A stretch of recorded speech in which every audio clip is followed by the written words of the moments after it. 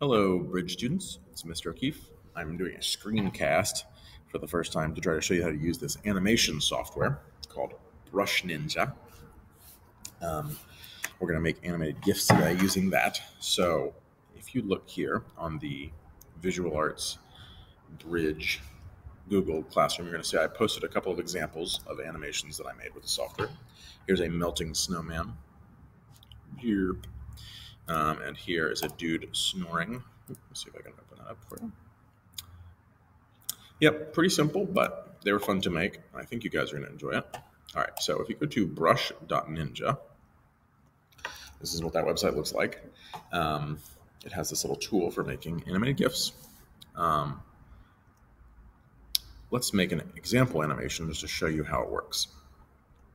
So new, save what you're working on. Um, this is the undo and redo button. So if you do something you don't like, you can undo it. Or if you decide you do like it, you can redo it. Um, right up here is the onion skin option. I'll explain what that does in a moment. Down here are your frames. Our animation is made of lots of still frames right next to each other. Um, so we start with one frame. We're going to want more than that for sure, but we'll get there. Um, over here are your tools. There's all kinds of tools you can use. Um, there's pencil for drawing. It's pretty hard to draw on here, uh, but you can try. Um, there's making shapes. Um, there is erasing, and then writing letters. I click that to change the letter.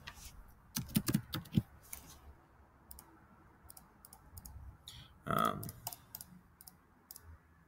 there is um, this, well, let me draw something to explain what this does. Um, using this tool, you can do things like move stuff around or rotate stuff or make stuff bigger or smaller. Okay, that's what that does. All right, um, we'll just use the pencil for now and you can change color over here. So let's say we want to do a bouncing ball, which is real simple animation. Um, we're going to go make a, we're going to use a line here, and we're going to um, create a background. All right, so the background, this is the ground that the ball is going to bounce up and down. It doesn't need to change, so we're just going to create one of them and then make lots of duplicates. This little button here makes a duplicate. So the background, we can keep it the same every frame, so we're going to duplicate that a bunch of times.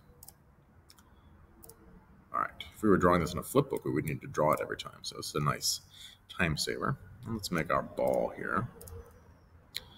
Um, hmm. Just click the biggest one just to keep it simple. You could draw the ball every time, um, but I'm just going to use the largest pencil dot just to make a boop, and that can be our ball. All right, so that's the first frame. Now the second frame needs to be a little bit lower than that because it's dropping.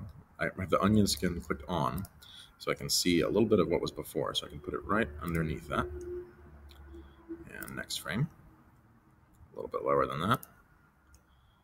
Frame after that, I'm just gonna keep on dropping it closer to the ground. It gets a little faster as it gets closer.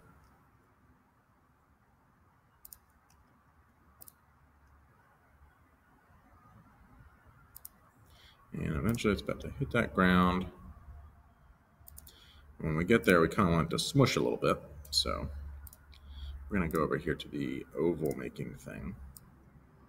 Kind of create a slightly smushed version of it. And then it's going to start bouncing back up again. Um, let's see. Bouncing back up.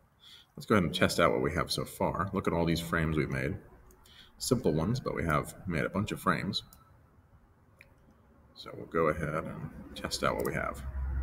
Boing. Now if I, what I would actually want to do is animate it all the way back up, but I want to show you something else first. Um, if you want to change the speed of your animation, frames per second, you can go here. Like let's say I want it to go really fast, 16 frames per second. I'll press that. If I'm done, I can go to uh, export, which is right here, animated GIF, export,